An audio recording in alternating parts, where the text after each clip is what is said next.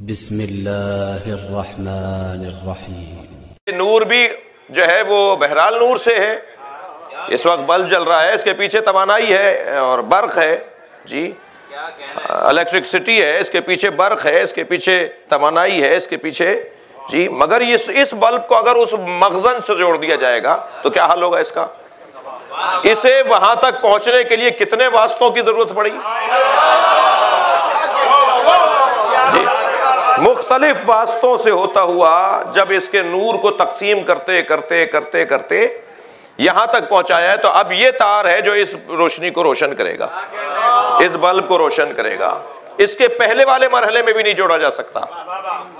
اچھا جس کا جو کام ہے نا، وہ اس سے لے لیا جائے، اسی سے کام لیا جائے، اسی کی خدمت میں جایا جائے۔ جو مسئلہ میرا حضرت عبداللہ شاہغازی حل کر دیتے ہو وہ مجھے مولا حسین سے نہیں کہنا چاہیے۔ توجہ کر رہے ہیں؟ حضرت شہباز خلندر جو میرا مسئلہ حل کر دیں۔ حضرت امام بری جو میرا مسئلہ حل کر دیں۔ شاہ عبداللطیف بھٹائی جو میرا مسئلہ حل کر دیں۔ جی خواجہ معین چشتی رحمت اللہ علیہ جو مسئلہ حل کر دیں۔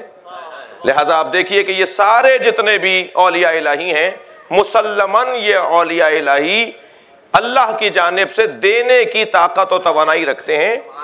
جس کی دلیل قرآن سے یہ ہے کہ پروردگار عالم نے پہلے ہی صفحہ قرآنی کے اوپر لکھ دیا، الف لام میم، ذالک الکتاب لا ریب فی الف لام میم، یہ کتاب وہ ہے کہ جس میں کوئی شک نہیں ہے۔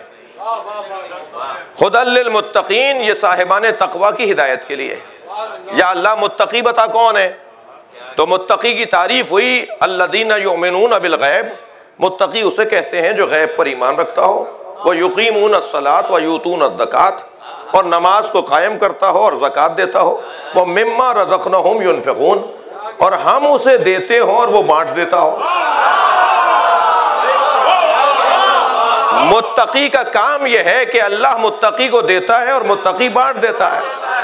تو میں جو اولیاء الہی کے مزاروں پہ جاتا ہوں، مجھے یقین ہے یہ متقی ہے۔ اور متقی کو اللہ دیتا ہے، وہ بانٹ دیتا ہے۔ تو مجھے تو ان سے مانگنے کی اجازت مل رہی ہے، تمہیں علی سمجھ میں نہیں آتا؟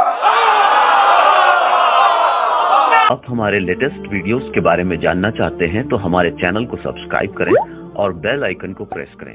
شکریہ۔